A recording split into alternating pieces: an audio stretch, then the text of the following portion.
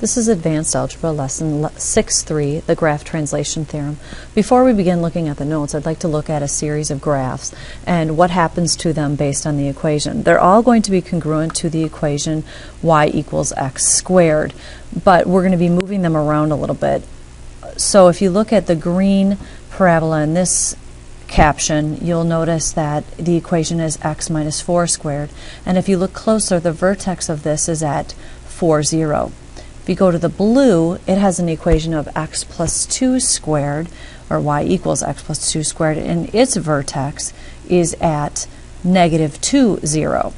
So all three parabolas are congruent to each other, but they've just been, they're just in different locations, and so we say that they have been translated. In this case, the green was translated over 4, and the blue was translated over a negative 2. In this series, all three parabolas once again are congruent to each other and they're still going off of the the function of f of x equals x squared. The green one has been translated down 5 units, and so in the equation happens to be x squared minus 5.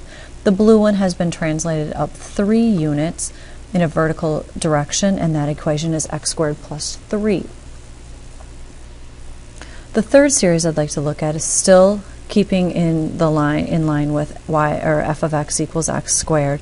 The green now has the equation y equals x minus 3 difference squared plus 2 and notice the vertex of that parabola is 3 2 and then the blue one has the equation x plus 4 quantity squared minus 1 and that has a vertex of negative 4 negative 1 so what we're going to, if you notice, this green one has been translated over 3 and up 2, and the blue one has been translated over to the left and 4 and down 1. So we're going to look at how the equation in in uh, parabola, the, how the equation can help us determine where the location of our parabola will be on a graph. When we look at the graph translation theorem, it says, in a relation described by the sentence in x and y, the following two processes yield the same graph, replacing x with x minus h and y with y minus k. And then we can apply the translation h, or the translation of t sub hk to the graph of the original relation. So we're going to see what that looks like when we look at the graph of y equals the absolute value of x under the translation of 3, negative 5. As studied before, we know that the graph of the absolute value of x starts at the origin and has a slope of 1 going in the our, so our positive direction, and then we, it also has a slope of negative 1 going off into quadrant 2 here. So if we take and look at a translation of 3, negative 5, so that's over 3 and down 5, that's where our vertex would be. And we know it's still, each side of our graph has the same slope of 1 or negative 1. So here's an example of us using the graph translation theorem.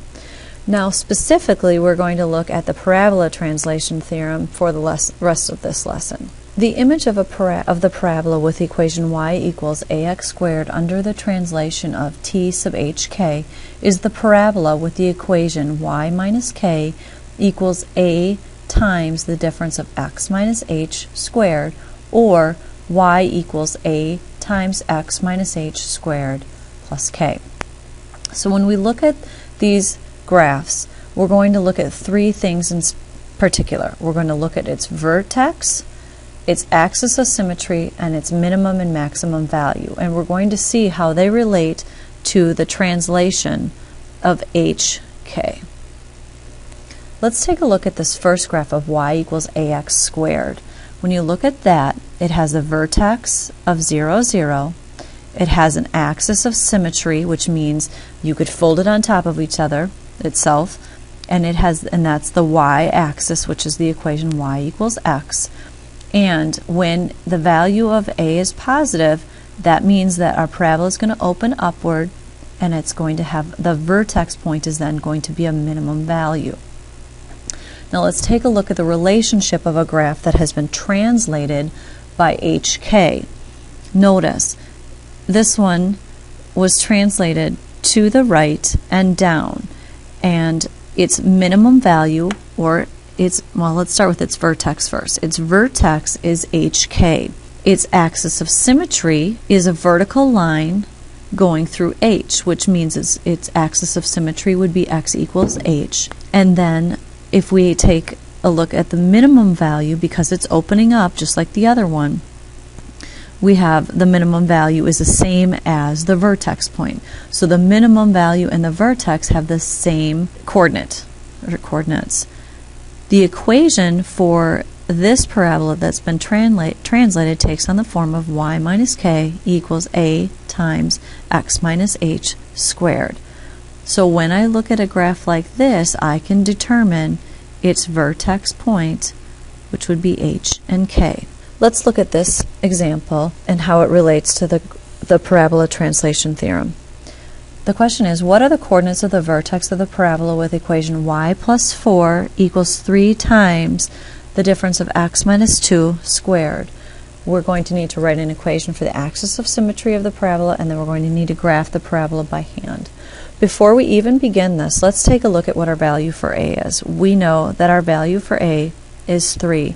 So this parabola is going to be a translation of the equation of the parabola y equals 3x squared.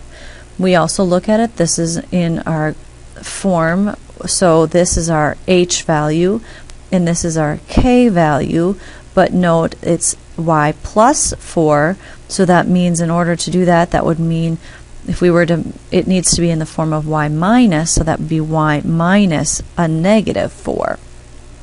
So that means the vertex of our parabola is going to be 2, negative 4.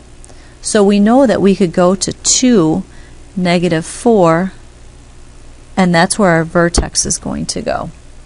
We also know that we have an axis of symmetry, and as we said before, the axis of symmetry goes through our vertex and is a vertical line, and we know our vertical line is at 2, so our axis of symmetry would be x equals 2. So we've answered two parts of this. The next thing we need to do is graph the parabola by hand. Now we can do it a couple of ways.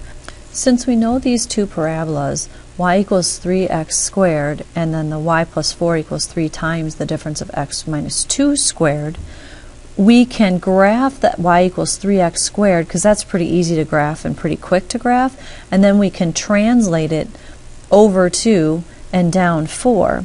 So I'm going to show you quick what that would look like. I just plugged in a couple points for x, 1 and negative 1, and I found y to be 3, and 2, negative 2, and found y to be 12. So if, I, if you notice here, I have a dotted line. And if I was going to translate that, I'm going to take a couple points over 2, down 4, and I know my vertex is going to be there. Let's move these over 2, down 4, and I know this is going to be right on the other side. So here's where that parabola is going to go. So that's one method. The other method is to use our equation knowing that our vertex is 2, negative 4. I can go ahead and plug in a couple values for x and y.